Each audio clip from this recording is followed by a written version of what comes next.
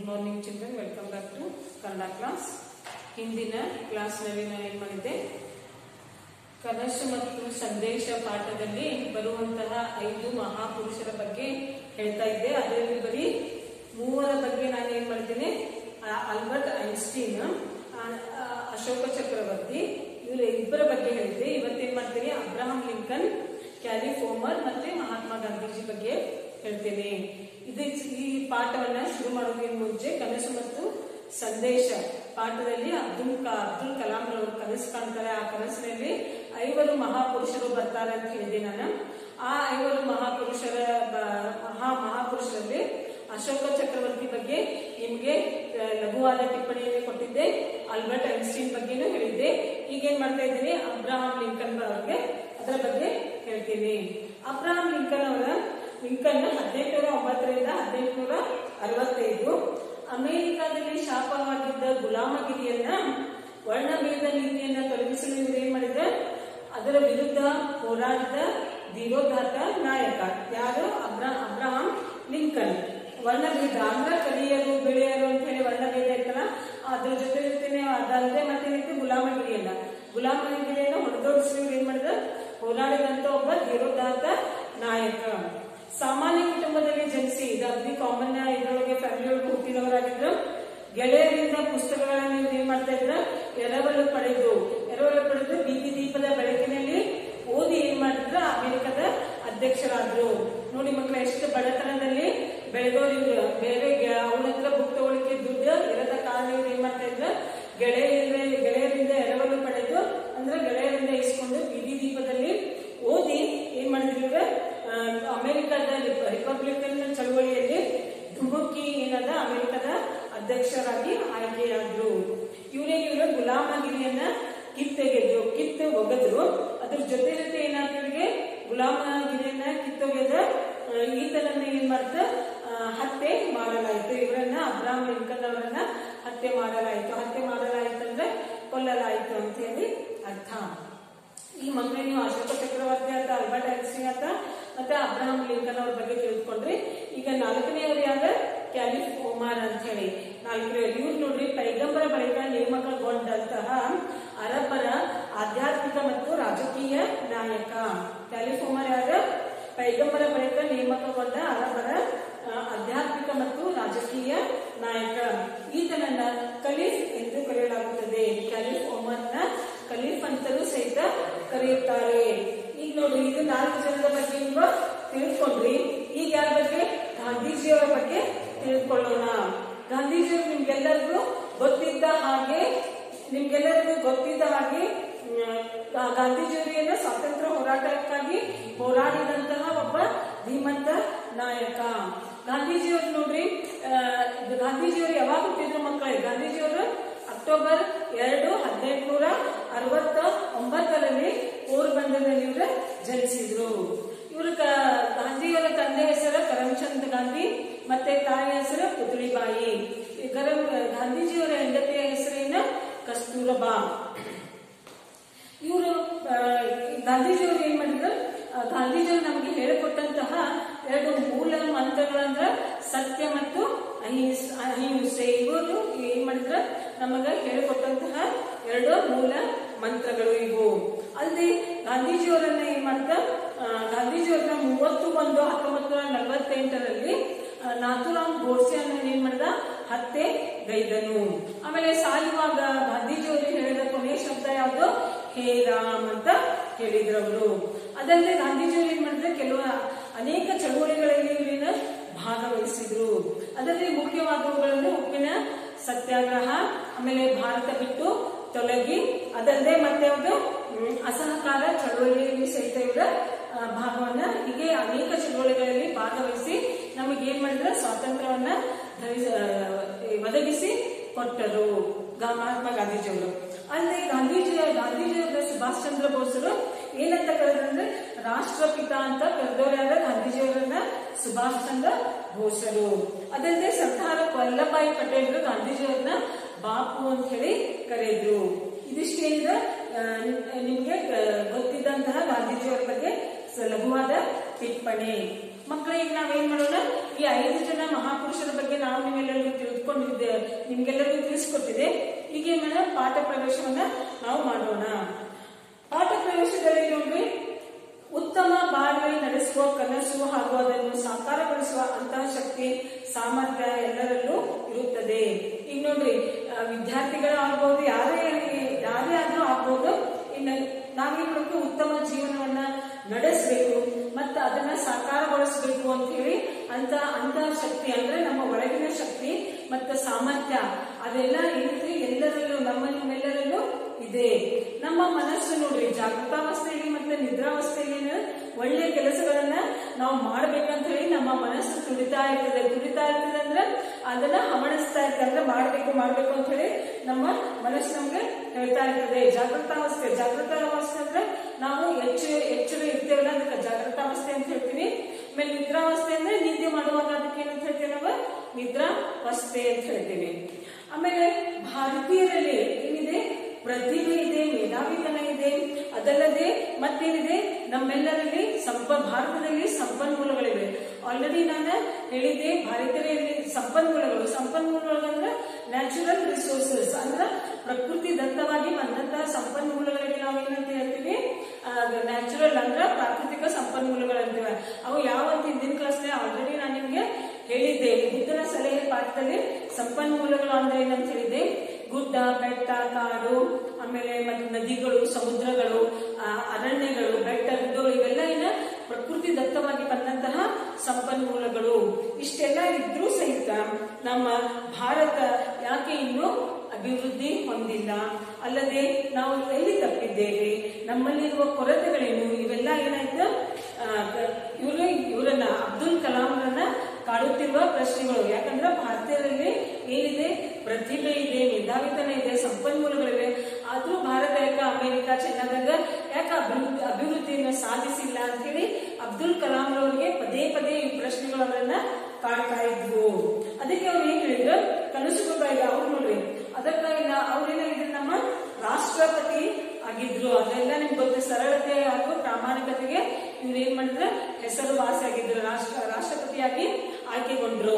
ಇವ್ರು ನೋಡ್ರಿ ಅದಕ್ಕೆ ನಮ್ಮ ರಾಷ್ಟ್ರಪತಿ ಆಗಿದ್ದ ಅಬ್ದುಲ್ ಕಲಾಂ ಅವ್ರು ಏನ್ ಹೇಳ್ತಾರಂದ್ರೆ, ಕನಸುಗಳನ್ನ ಕಾಣಿರಿ, ಕನಸುಗಳು ಭೂತ ಮತ್ತೆ ಭೂತ ಭವಿಷ್ಯ ಹಾಗೂ ವರ್ತಮಾನದ ಅನುಭವಗಳನ್ನು ಕಟ್ಟಿಕೊಳ್ಳುತ್ತವೆ ಕಲಾಂ ಅವರು ಏನ್ ಹೇಳ್ತಾ ಇದ್ದಾರೆ, ಎಲ್ರಿಗೂ ಕನಸು ಕಾಣ್ರಿ, ಕನಸುಗಳು ನಮ್ಗೆ ಏನ್ ಮಾಡ್ತಾವ? ಭೂತ, ವರ್ತಮಾನ ಮತ್ತು ಭವಿಷ್ಯದ ಏನ್ ಮಾಡ್ತಾವ? ಅನುಭವಗಳನ್ನ ಕಟ್ಟಿಕೊಡುತ್ತವೆ ಅಂತ ಹೇಳ್ತಾ ಇದ್ದಾರೆ. ಜೊತೆಗೆ ನಮ್ಮ ಬದುಕಿಗೆ ಅವು ಸ್ಫೂರ್ತಿಯ ಸಂದೇಶಗಳಾಗಿರ್ತವೆ ಕನಸುಗಳು ಏನಾಗ್ತಾವ ನಮ್ಮ ಬದುಕಿಗೆ ಸ್ಫೂರ್ತಿಯನ್ನ ಕೊಡುವ ಸಂದೇಶಗಳಾಗ್ತಾವ ಅಂತ ಹೇಳಿ ಹೇಳ್ತಾ ಇದ್ದಾರೆ. ಕಲಾಂ ಅವರು ಕಂಡ ಕನಸುಗಳಲ್ಲಿ ಭಾರತದ ಭವಿಷ್ಯವಿದೆ ನೋಡ್ರಿ ಕಲಾಂ ಅವರು ಸಹಿತ ಬರೀ ಬರೀ ಯಾವಾಗಲೂ ಅವರು ಯಾವ ಚಿಂತೆ ಕಾಡ್ತಾ ಇದ್ರ? ಭಾರತದ ಭವಿಷ್ಯದ ಬಗ್ಗೆ. ಅದೇ ರೀತಿ ಗಾಂಧೀಜಿಯವರಿಗೆ ಕಾಡ್ತಿದ್ದ ಅವರು ಯಾವ ಯಾವ ಕನಸನ್ನು ಕಾಣ್ತಿದ್ರ? ಸ್ವಚ್ಛ ಭಾರತದ ಕನಸನ್ನ ಗಾಂಧೀಜಿಯವರು ಕಾಡ್ತಾ ಗಾಂಧೀಜಿಯವರಿಗೆ ಇತ್ತು ಅದೇ ರೀತಿ ನಾವು ಏನು, ಏನ್ ಮಾಡ್ತಾ ಇದ್ವಿ? ಅದೇ ಗಾಂಧೀಜಿಯವರ ಇದನ್ನೇ ಅನುಸರಿಸ್ತಾ ಹೋಗ್ತಾ ಇದ್ದೇವೆ ಸ್ವಚ್ಛ ಭಾರತ ಆಂದೋಲನ ಅಂತ ಹೇಳಿ ನಾವು ಅದನ್ನೇ ಮುಂದುವರ್ಸ್ಕೊಂಡು ಹೋಗ್ತಾ ಇದ್ದೇವೆ. ಅದೇ ರೀತಿ ಗುಲಾಮ್ ಕಾಡಿದ ಪ್ರಶ್ನೆ ಏನು? ಭಾರತ ಯಾಕೆ ಇನ್ನು ಹಿಂದುಳಿದಿದೆ? ಯಾಕೆ ಎಲ್ಲ ಜನರು ಹಿಂದುಳಿದಿದ್ದಾರೆ? ಯಾಕೆ ನಮ್ಮ ದೇಶ ಅಭಿವೃದ್ಧಿ ಸಾಧಿಸಿಲ್ಲ? ಅಂತ ಹೇಳಿ ಇವರನ್ನ ಕಾಡುತ್ತಿರುವ ಪ್ರಶ್ನೆಗಳು. ಅದೇ ರೀತಿ ಮನುಕುಲದ ಪ್ರೀತಿ ಇದೆ. ಅದಲ್ಲದೆ ಅವ್ರಿಗೆ ಏನಿದೆ? ಎಲ್ಲ ಮಾನವ ಕುಲಕ್ಕೆ ಅವ್ರದ್ದು ಪ್ರೀತಿ ಇದೆ. ಮಾನವ ಕುಲ ಆಮೇಲೆ ಅದ ಅಬ್ದುಲ್ ಕಲಾಂ ಅವ್ರು ಏನ್ ಹೇಳ್ತಾ ಇದ್ದಾರೆ? ಮಾನವ ಕುಲವನ್ನು ಕಟ್ಟಬೇಕಾಗಿರುವುದು ಪ್ರೀತಿಯ ನೆಲೆಗಟ್ಟಿನ ಮೇಲೆ ಅಂತ ಹೇಳ್ತಿದ್ದಾರೆ. ನಾವು ಮಾನವ ಕುಲವನ್ನ ಅಗದಿ ಗಟ್ಟಿಮುಟ್ಟಾಗಿ ಕಟ್ಟಬೇಕಂದ್ರೆ ಏನಿರ್ಬೇಕ? ತಳಪಾಯ. ಪ್ರೀತಿ ಅನ್ನುವ ತಳಪಾಯದಿಂದ ನಾವೇನ್ ಮಾಡ್ಬೇಕು? ಮಾನವ ಕುಲವನ್ನ ಕಟ್ಟಬೇಕಾಗಿದೆ ಅಂತ ಹೇಳಿ ಅಬ್ದುಲ್ ಕಲಾಂ ಅವರು ಹೇಳ್ತಾ ಇದ್ದಾರೆ. ಅದಲ್ಲದೆ ಏನ್ ಹೇಳ್ತಾ ಇದ್ದಾರೆ? ಶಾಂತಿ, ನೆಮ್ಮದಿಯ ಸಾಮ್ರಾಜ್ಯ ನಿರ್ಮಾಣವೇ ನಿಜವಾದ ಗೆಲುವು ಅಂತ ಹೇಳ್ತಿದ್ದಾರೆ ನಾವು ಶಾಂತಿ ನೆಮ್ಮದಿಯಿಂದ ಸಾಮ್ರಾಜ್ಯವನ್ನ ನಿರ್ಮಾಣ ಮಾಡಿದ್ರೆ ಅದೇ ನಿಜವಾದ ಗೆಲುವು ಅಂತ ಹೇಳ್ತಿದ್ದಾರೆ. ಅದಲ್ಲದೆ ಎನ್ನುವ ಸಂದೇಶವನ್ನ ಏನ್ ಮಾಡ್ತಾ ಇದ್ದಾರೆ? ನಮ್ಗಿಲ್ಲಿ ಕಲಾಂ ಅವರ ಕೊಡ್ತಾ ಇದ್ದಾರೆ. ಮಕ್ಕಳ ಇದಿಷ್ಟು ಬಗ್ಗೆ ನೀವು ತಿಳ್ಕೊಂಡ್ರಿ. ಈಗ ಏನ್ ಮಾಡೋಣ? ಪಾಠದ ಕಡೆ ಗಮನವನ್ನ ಕೊಡೋಣ. ಕನಸು ಕಾಣಿರಿ ಕನಸು ಕಾಣಿರಿ ಕನಸು ಕಾಣಿರಿ, ಕನಸುಗಳು ಯೋಜನೆಗಳ ರೂಪ ಕಳೆಯುತ್ತವೆ. ಆ ಯೋಜನೆಗಳು ಕಾರ್ಯರೂಪ ತಿಳಿಯುತ್ತವೆ ನೋಡ್ರಿ, ಎಲ್ಲರೂ ಕನಸುಗಳು ಏನ್ ಮಾಡ್ತಾವ ನಮ್ಮನ್ನ ಕಾರ್ಯರೂಪಕ್ಕೆ ಏನ್ ಮಾಡ್ತಾವ ಯೋಚನೆಗಳ ರೂಪ ಅನ್ನತ್ತೆ ಈಗ ನೀವು ಯಾವುದೇ ಒಂದು ಕನಸು ಬಿದ್ದಿದೆ ಅಂದ್ರೆ ಹಿಂದಿನ ದಿವಸ ಅಥವಾ ಈಗ ಯಾವಾಗಲೂ ನೀವು ಅದ್ರ ಬಗ್ಗೆ ಯೋಚನೆ ಮಾಡಿರ್ಬೇಕು. ಯೋಚನೆ ಮಾಡಿದ್ದೇ ಏನಾಗ್ತದೆ? ಕನಸಿನ ರೂಪದಲ್ಲಿ ನಮಗೆ ಬರುತ್ತದೆ. ಅಲ್ಲದೆ ಆ ಯೋಚನೆಗಳು, ಈಗ ಒಬ್ಬ ಮನುಷ್ಯ ನೋಡ್ರಿ, ಏನಾದ್ರೂ ಆಫೀಸರ್ ಆಗ್ಬೇಕು ಕ್ಲಾಸ್ ಒನ್ ಆಫೀಸರ್ ಆಗ್ಬೇಕು ಅಥವಾ ವೈದ್ಯನಾಗ್ಬೇಕು ಅಥವಾ ಇಂಜಿನಿಯರ್ ಆಗ್ಬೇಕು, ಹೀಗೆ ಏನೇನೋ ಮಕ್ಕಳು ಏನಿರ್ತಾವ ಕನಸುಗಳನ್ನ ಕಟ್ಟಿರ್ತಾರೆ. ಅದಾಗಬೇಕು ನಾ ಇದಾಗ್ಬೇಕಂತ. ಬರೀ ಕನಸಿನಲ್ಲಿ ನಾ ಅದಾಗ್ಬೇಕು ಇದಾಗ್ಬೇಕಂತ ಹೇಳಿದ್ರೆ ಯಾರು ಅದನ್ನ ಆಗ್ಲಿಕ್ಕೆ ಸಾಧ್ಯವಿಲ್ಲ. ಕನಸಿನಲ್ಲಿ ಬಂದಿದ್ದೆ, ನಾ ಆಫೀಸರ್ ಇದ್ದೆ. ಮುಂದೆ ನಾ ಆಫೀಸರ್ನ ಆಗ್ತೀನಿ ಅಂತಂದ್ರೆ ಅದು ಸಾಧ್ಯ ಇದೆ ಮಕ್ಕಳೇ. ಇಲ್ಲ, ವಿದ್ಯಾರ್ಥಿಗಳೇ, ನೀವು ಯಾವುದೇ ಕನಸನ್ನ ಏನ್ ಮಾಡ್ಬೇಕು, ನನಸು ಮಾಡ್ಬೇಕಂದ್ರೆ ನೀವು ಏನ್ ಮಾಡ್ಬೇಕು, ಅದಕ್ಕೆ ಹಿಂದ್ಗಡೆ ನಿಮ್ದ ಪ್ರಯತ್ನ ಇರಬೇಕು. ಆ ಪ್ರಯತ್ನ ಇದ್ರಷ್ಟು ನಿಮ್ಗೆ ಫಲ ಸಿಗುತ್ತದೆ. ಬರೀ ಕನಸು ನಾ ಕನಸು ಬೆಳಿಗ್ಗೆ ಆಗ್ತಾವ? ಹಿಂಗೆಲ್ಲ ಹೇಳ್ತಾ ನೀವು ಹೇಳ್ಬಹುದ ಹೇಳ್ಬೋದು. ಆದ್ರೆ ಅದನ್ನ ನೀವು ಏನ್ ಮಾಡ್ಬೇಕ? ಅದಕ್ಕೆ ತಕ್ಕ ಹಾಗೆ ಪ್ರಯತ್ನವನ್ನ ಪಟ್ಟರಷ್ಟೇ ಏನಾಗ್ತದೆ? ನಿಮ್ಮ ಕಂಡ ಕನಸು ಏನಾಗ್ತದೆ?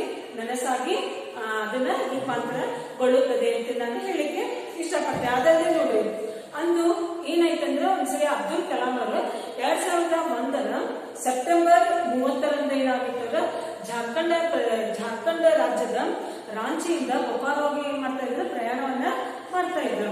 ಅದು ಎದುರು ಪ್ರಯಾಣವನ್ನು ಮಾಡ್ತಾ ಇದ್ರು ಹೆಲಿಕಾಪ್ಟರ್ನಲ್ಲಿ ಪ್ರಯಾಣವನ್ನ ಮಾಡ್ತಾ ಇದ್ರು. ಅಚಾನಕ್ ಆಗಿ ಏನಾಯ್ತಂದ್ರೆ ಹೆಲಿಕಾಪ್ಟರ್ ಇನ್ನೇನ ಭೂಸ್ಪರ್ಶ ಮಾಡಬೇಕು ಅಂತಂದ್ರೆ ಅವಾಗ ಏನಾಗ್ತದೆ ಅಂದ್ರೆ ಜೋರಾದ ಸದ್ದಿನೊಂದಿಗೆ ಹೆಲಿಕಾಪ್ಟರ್ ಏನಾಗ್ತೈತಿ ನೆಲಕ್ಕೆ ಅಪ್ಪಳಿಸ್ಬಿಡ್ತೈತಿ ಅವಾಗ ಎದಕ್ಕೆ ಈ ರೀತಿ ಆಯ್ತಂದ್ರೆ ಆ ಹೆಲಿಕಾಪ್ಟರ್ ಎಂಜಿನ್ ಒಳಗೆ ಏನೋ ದೋಷನ, ದೋಷ ಕಾಣಿಸ್ಕೊಂಡಿತ್ತಂತೆ. ಅದಕ್ಕೆ ಅಲ್ಲಿ ಏನಾಯ್ತಂದ್ರೆ ಆ ಹೆಲಿಕಾಪ್ಟರ್ ನೆಲಕ್ಕೆ ಜೋರಾಗಿ ಸದ್ದು ಮಾಡಿ ನೆಲಕ್ಕೆ ಅಪ್ಪಳಿಸ್ಬಿಡ್ತಂತೆ ಯಾವಾಗ ವಿದ್ಯಾರ್ಥಿಗಳಿದೆ ಎರಡ್ ಸಾವಿರದ ಒಂದರ ಸೆಪ್ಟೆಂಬರ್ ಮೂವತ್ತರಂದು. ಅವಾಗ ಇವ್ರು ಏನ್ ಮಾಡ್ತಾರೆ? ಅಬ್ದುಲ್ ಕಲಾಂ ಅವರು ಹಬ್ಬ ನಾವು ಬಹುಶಃ ನಾವು ಅದೃಷ್ಟ ಮಾಡಿರ್ಬೇಕು.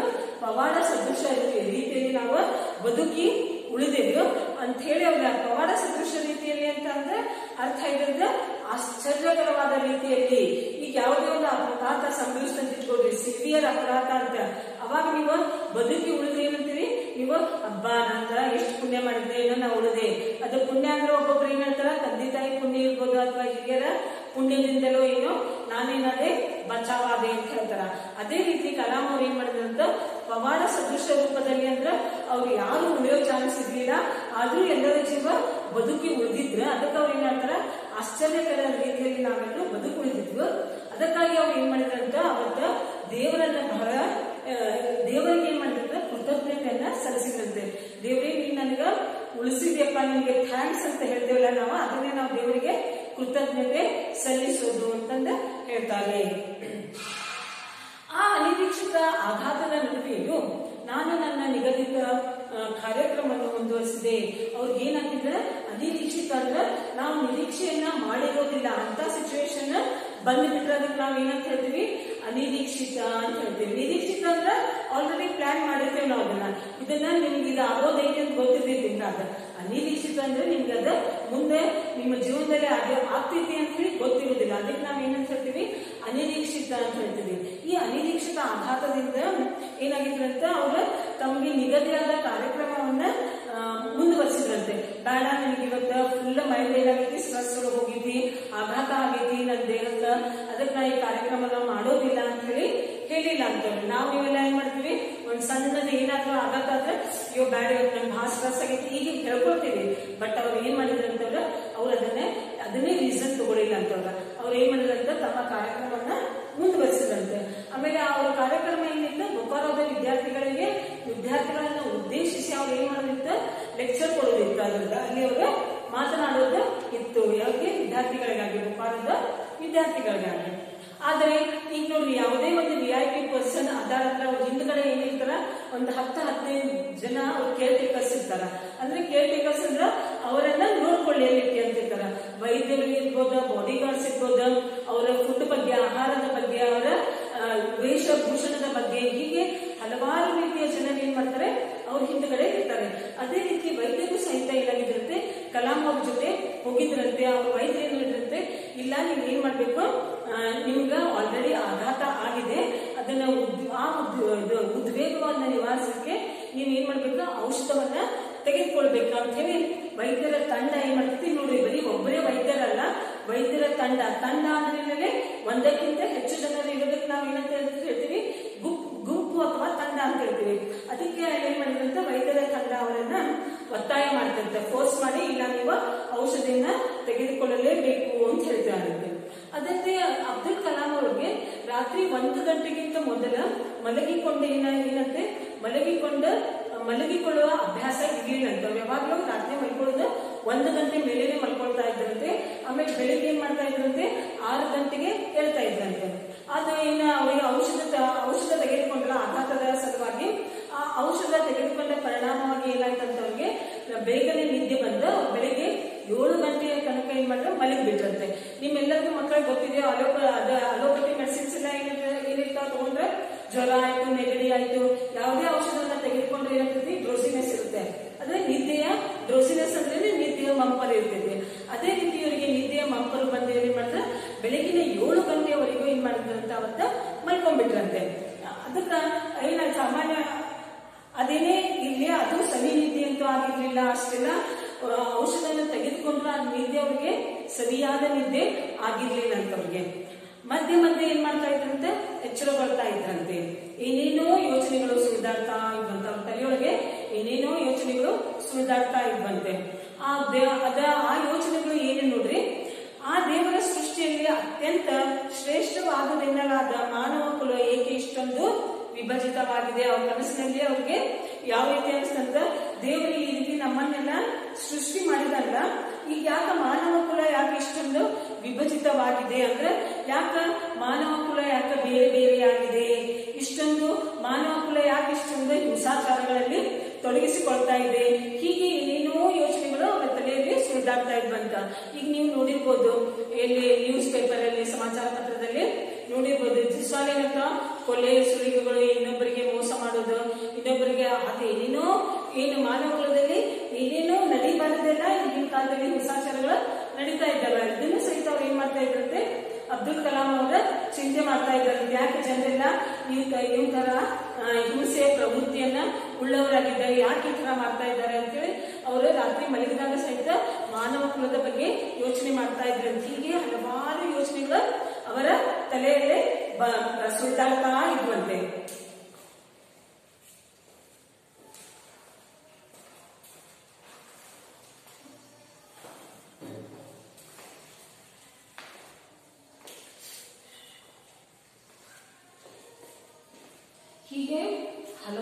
ಯೋಚನೆಗಳು ಅವರ ತಲೆಯಲ್ಲಿ ಸುಳಿದಾಡ್ತಾ ಇದ್ವಂತೆ. ಮುಂದೆ ಏನಾಯ್ತು ಅವರಲ್ಲಿ ಐವರು ಕನಸಲ್ಲಿ ಮತ್ತೆ ಐವರು ಮೇಧಾವಿಗಳು, ಮಹಾಪುರುಷರು ಮಾತನಾಡಿದ್ದ, ಮಾತನಾಡುತ್ತಿದ್ದಂತೆ ಅವರಿಗೆ ಭಾಸವಾಯ್ತು. ಅವ್ರು ಯಾವ ರೀತಿ ಮಾತನಾಡಿದ್ರು ಅನ್ನೋದನ್ನ ಏನ್ ಮಾಡ್ತೀನಿ ನಾನು? ಮುಂದಿನ ಕ್ಲಾಸ್ನಲ್ಲಿ ಈ ಪಾಠವನ್ನ ಮುಂದುವರಿಸ್ತೇನೆ. ಮಕ್ಕಳಿಗೆ ನೀವು ಏನ್ ಮಾಡ್ಬೇಕು? ನಿಮ್ಮ ಹತ್ರ ಟೆಕ್ಸ್ಟ್ ಬುಕ್ ಇದ್ರೆ ಪಾಠವನ್ನ ಓದಿ ಅಂದ್ರೆ ನಿಮ್ಗೆ ತಿಳ್ಕೊಳ್ಳಿಕ್ಕೆ ಈಸಿ ಆಗ್ತದೆ. ಇವತ್ತೇನ್ ನಾ ಬರೀಲಿಕ್ಕೆ ಕೊಡ್ತಾ ಇಲ್ಲ. ಈ ಪಾಠವನ್ನ ಮುಗಿಸಿದ ನಂತರ ಏನ್ ಮಾಡ್ತೀನಿ ನಾನು ನಿಮ್ಗೆ ಬರೀಲಿಕ್ಕೆ ಕೊಡ್ತಾ ಇದ್ದೀನಿ. ಹಿಂದಿನ ಕ್ಲಾಸ್ನಲ್ಲಿ ನಾ ಲೇಖಕರ ಪರಿಚಯ A P J Abdul Kalam ಅವರ ಬಗ್ಗೆ ಕೊಟ್ಟಿದ್ದೆ. ಪದಗಳ ಅರ್ಥವನ್ನು ಸಹಿತ ಕೊಟ್ಟಿದ್ದೆ ಮಕ್ಕಳು. ಇಲ್ಲಿಗೆ ಈ ನನ್ನ ಕ್ಲಾಸನ್ನ ಮುಗಿಸ್ತೇವೆ ಧನ್ಯವಾದಗಳು.